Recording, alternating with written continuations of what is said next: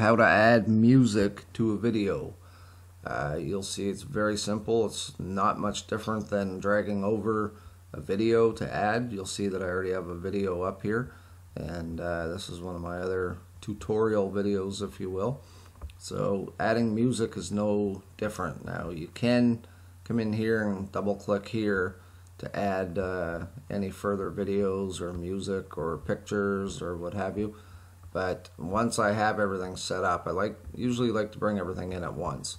Once I have everything set up, what I'll do is I will come here and uh, to File and then go to Import. Once we click Import, that will open my downloads. Then I'll find the song that I want and I will go to let's bring over reclamation and you'll see here it's a YouTube friendly video. It's from their library. So what happens is you uh, scroll down and these are all videos. And when you see this this means it's audio only. And uh, what we'll do to bring it over we just need to simply left click and hold it down and drag it over. If you put it here, that's where your music can go, but I'll show you in a second how to add it up here and uh, what happens if you do the difference. If you try to put it up here, it's not going to take. Now you can put pictures and such up there, but down here is where your music has to go. So now that I've dragged that in, you'll see if I play the video from here, that will open up the actual Premiere Pro. So this is Premiere Pro 2017, and uh, see there, uh,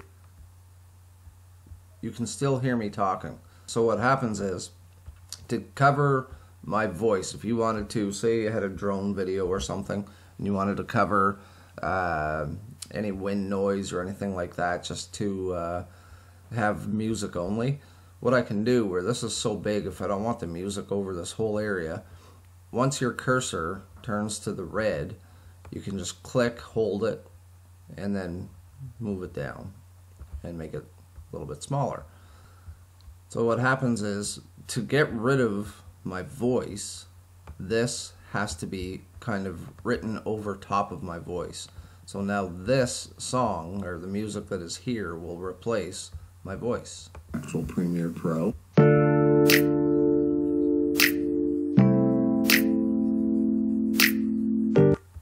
So down here, you'll still hear my voice. Up here, you no longer hear my voice. It uh, overrides it. If I wanted to move it or what have you, if I pull this back out, you'll see it creates a black black spot. So it's actually pulled out my voice. To fix that, I will just simply go to edit, undo. Again, I'm a big fan of edit undo when you make a mistake. The other thing you can do too is just simply X out of your program and don't save your changes. If uh, you had done a whole bunch of stuff and you thought, oh, I don't like any of that, just X out and don't save your changes. And when you pull this pro this project back up, it will uh, not have saved those changes and you'll just have your videos back again so you can start all over. Uh, Premiere Pro is great. You can just fiddle around, do what you want, and if you make a mistake, just edit, undo, boom, you're done. Back to where you were, and then you can start over. Now with this, if I wanted to get rid of this, if I left click, it turns white, and I can just click my backspace, and it's gone. If I wanted only 30 seconds of video, what I can do is drag this up here. There's my, my song. It's uh, 2 minutes 58 seconds and 1 one hundredth.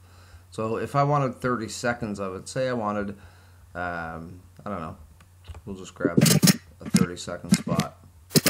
If I wanted it right on one minute,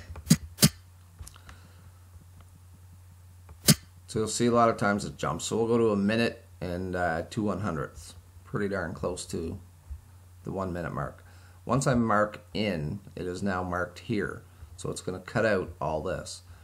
Then if I scroll over to a minute 30,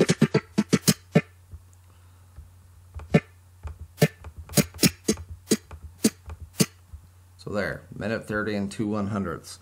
that gives me exactly 30 seconds of music. So now I will mark out. This is the only piece that I want. So to drag just this piece down to here, what I do, and if you hover over, it'll tell you what it's going to do. Drag video only, there's no video, so I need drag audio only.